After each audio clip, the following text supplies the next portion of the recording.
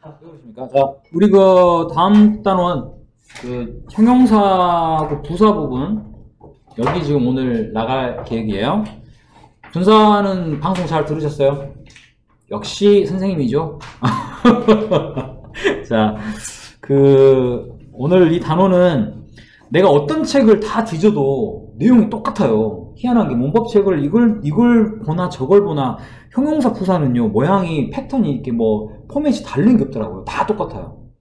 그만큼 이거는 약간 정형화되어 있다 그래야 되나? 그 형태로 외워야 되는 것들 또 여러분이 뭐 이렇게 좀 해야 되는 것들이 딱 정해져 있어요.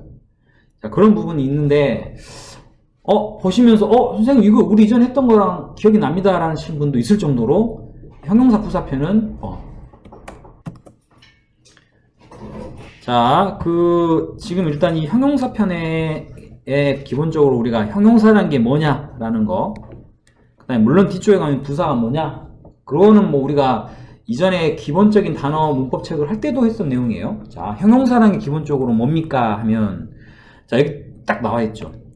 좀 이제 우리가 너무 한자가 많다 보니까 이거를 뭐 수식이네, 뭐 서술이네, 뭐 한정적 용법이네 이게 전부 한자잖아요.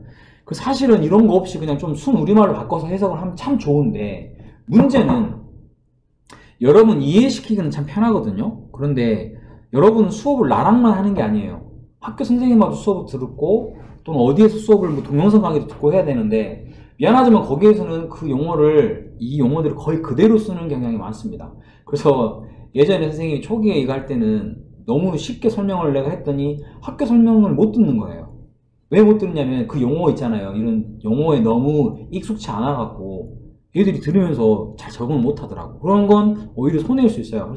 선생님도 이제 일단 이해는 시키지만 제대로 되도록 이 용어를 이용을 계속 써가면서 이렇게 진행을 할 거예요.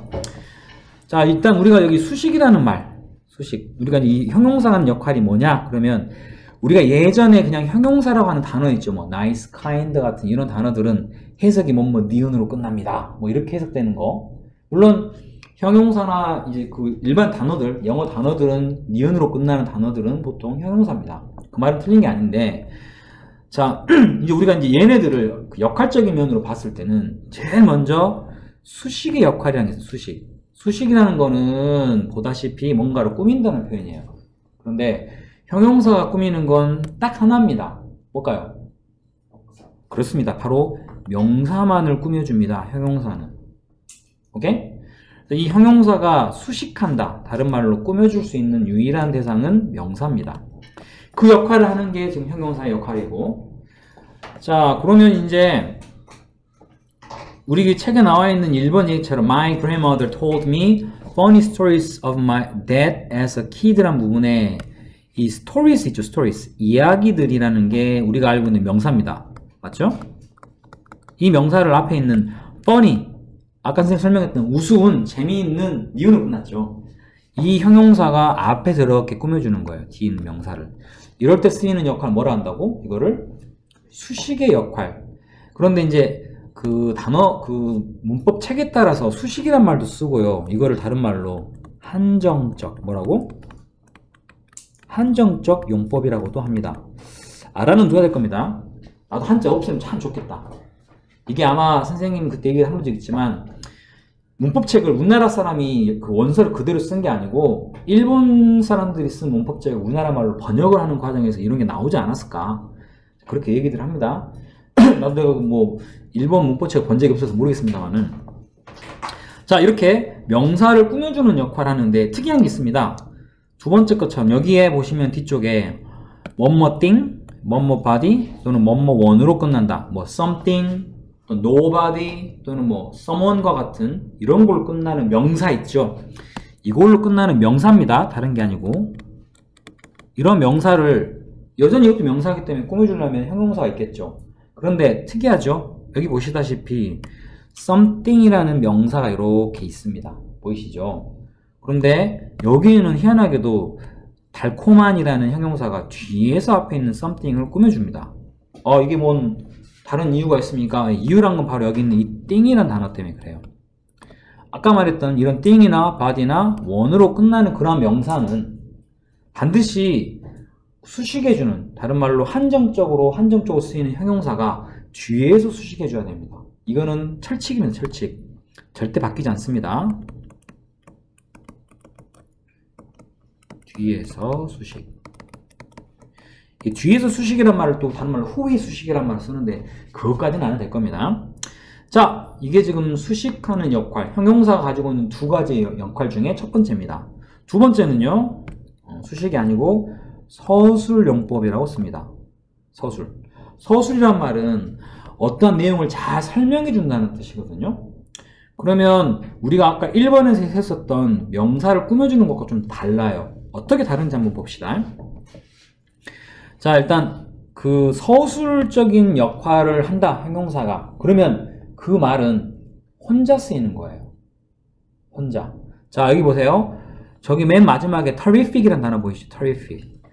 terrible은 끔찍한이고 terrific은 아주 멋지다는 뜻입니다. 환상적인이라는 말로 생각하시면 됩니다. 자, 이 형용사인데 우리가 생각할 때 이 terrific이 1번의 내용처럼 수식의 역할을 쓰려면 이 앞이나 또는 뒤에 각각 꾸며줘야 될 명사가 있어야겠죠. 근데 앞에 was는 동사일 거고 이거는 수식의 역할이 아니에요. 그죠? 어 그럼 이 지금 터리픽은 우리 소위 말하는 혼자 쓰이는 경우죠. 그죠? 그런데 형용사는 뭔가 어떤 역할을 하기, 하기 때문에 거기 쓰이는 거예요. 그죠? 이때 내용 보니까 이겁니다. The meal 문장의 주어가 뭡니까? The meal이죠. The meal 식사입니다. 자 그리고 그 바로 뒤에 보면 대시 나왔습니다. that.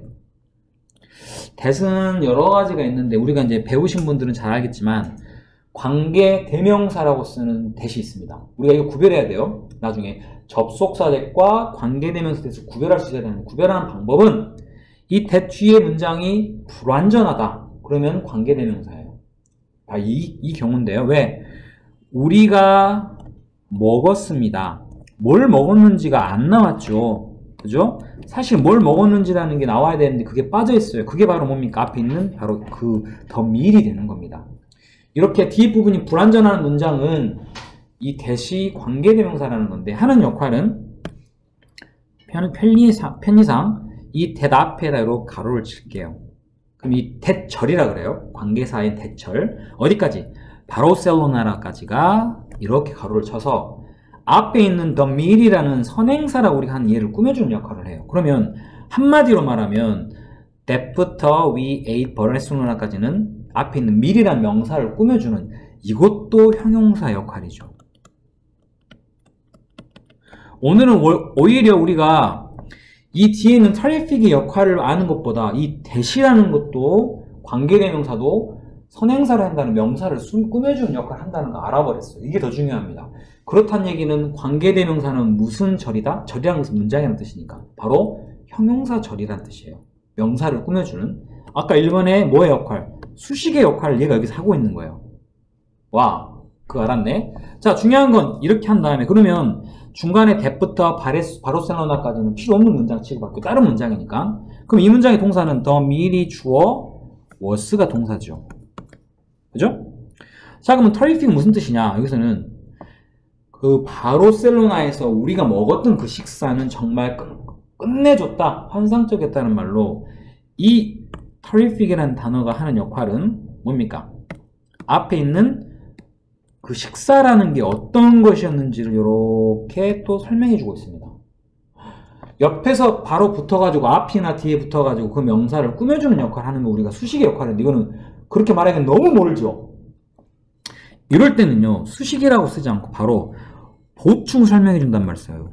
여기 있는 이 탈픽이라는 단어는 그 식사라는 주어를 보충 설명해 주고 있어요. 자 영어에서 보충 설명할 수 있는 단어는 딱 하나입니다. 바로 보어입니다. 보어. 그럼 물어보겠습니다. 열정? 이 보어는 무엇을 꾸며주는 보어입니까?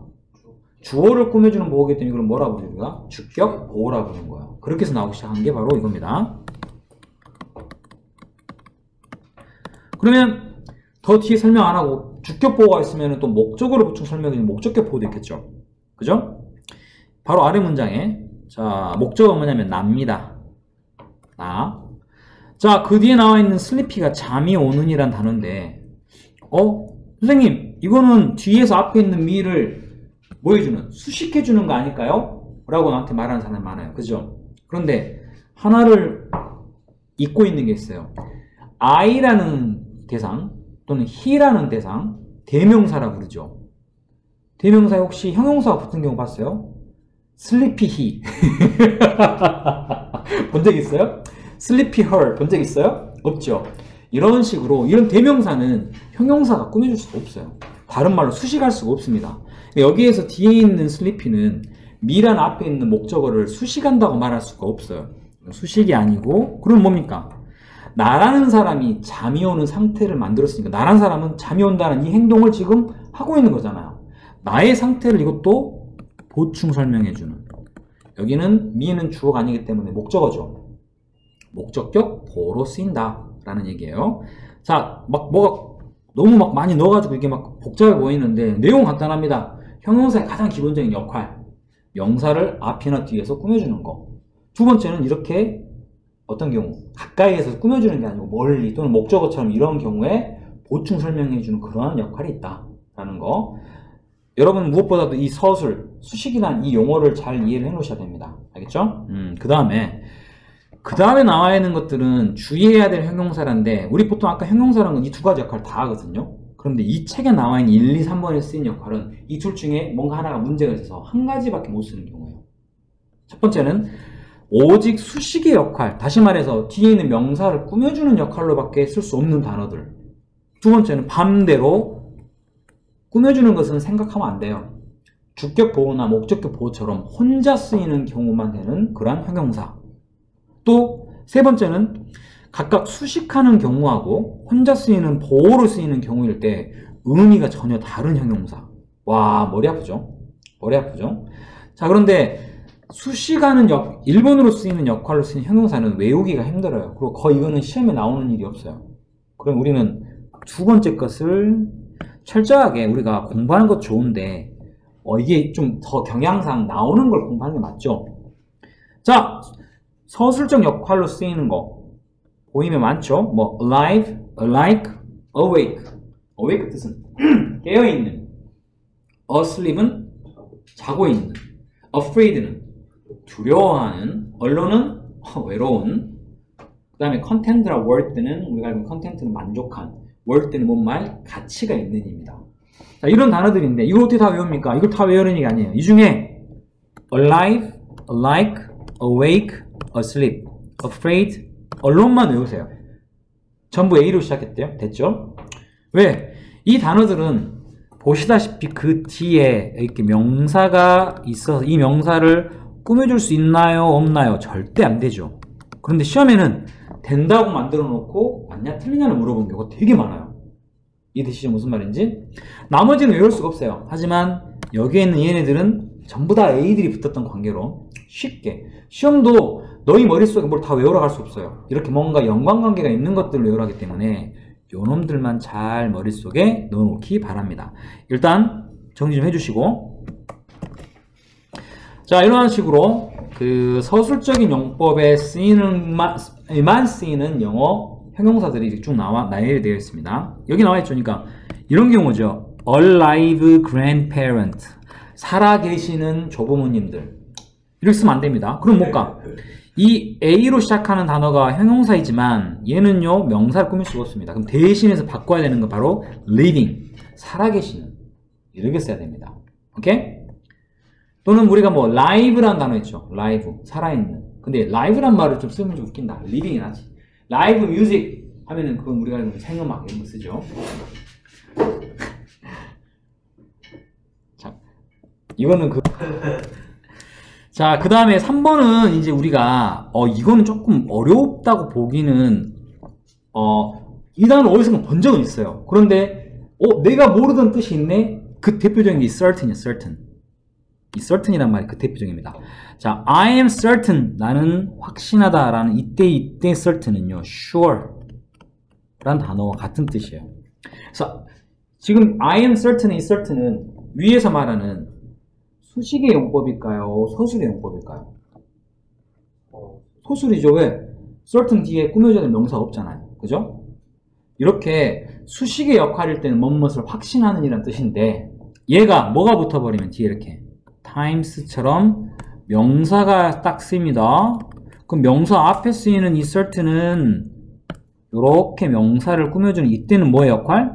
수식의 역할이죠. 이럴 때는 확실한이라는 뜻이 아니에요.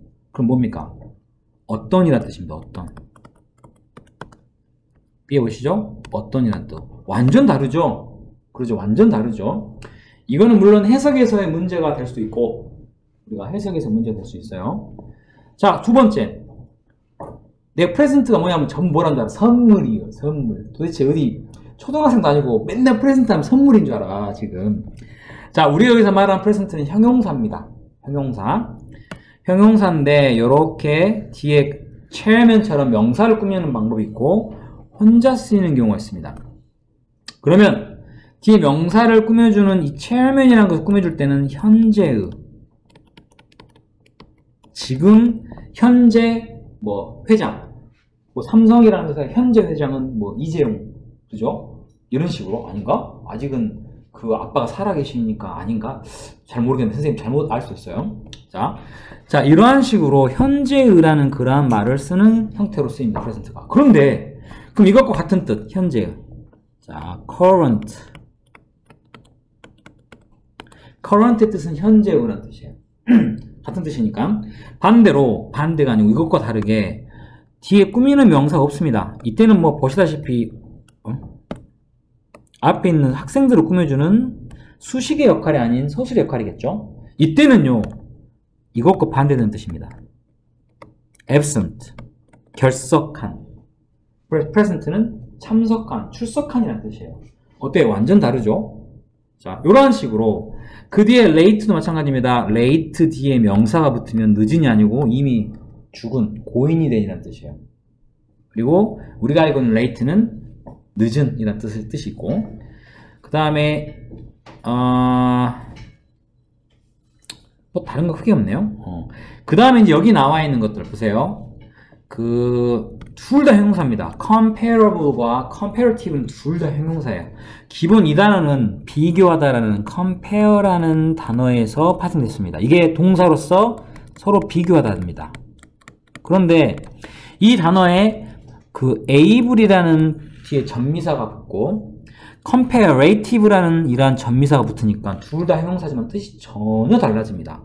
comparable이란 말은 서로 비교할 수 있는, 비교할 만한 이란 뜻입니다. 그런데 comparative는요, 비교를 통한이라는 전혀 다른 뜻이죠. 서로 비교할 수 있는 과 비교를 통한이라는 말은 전혀 다른 겁니다. 그죠? 그런 식으로 아래 보시면 economic 과 economical, economic은 경제적인, economical은 아껴 쓰는 이란 말이에요. 또 consider란 단어가 뭔가를 고려하다죠. 근데 considerable은 고려할 법한이란 말은 상당한 많은 이란 뜻이고 considerate는 생각이 깊은 거예요. 생각을 많이 해주는 거예요. 이거는 실제 고등학교 어법 문제, 아 저기 그 뭐지 저기 어휘 문제에 많이 나와요. 이 단어는 알아두시고 여기 있는 거 기본적으로 외우셔야 돼요. 적어도 2번 그 다음에 imaginary랑 imaginable과 imaginative 세 개가 다 다르죠. imagine 상상하다는 단어에서 나왔는데 imaginary는 가상의 실제가 아니고 상상 속에서 만들어진 어떤 존재 이런 말을 쓰는 imaginary고 imaginable은 여기 able이 붙으면 할수 있다는 뜻이에요. be able to 할 때 그 able 그러니까 상상을 할수 이라는 뜻입니다. 그런데 imaginative란 말은 상상력이 풍부한 와 이거 굉장히 다르겠죠? 이것도 암기하셔야 되겠고. 요 세 개. respect라는 단어가 우리가 존중, 존경하다는 뜻인데 respectable 하면 존경할 수 있을 법한이라는 뜻이고 respectful도 역시 뭡니까? 이때는 공경이 가득 탄 이때는 FUL이 어, 잠깐만요. FUL이 문무시 가득 차 있다는 뜻으로 내가 어, 저 선생님 너무 좋아. 여러분이 나한테 보이는 respectful한 그런 거죠. 아니야? 네, 그 다음에 마지막은 전혀 다르죠. respective는요 이거는 뜬금없어요. 각각, 개별이라는 뜻입니다. 각각의. 이러한 뜻으로 사용이 되고 있습니다. 자, 일단 여기서 잠깐 끊었고,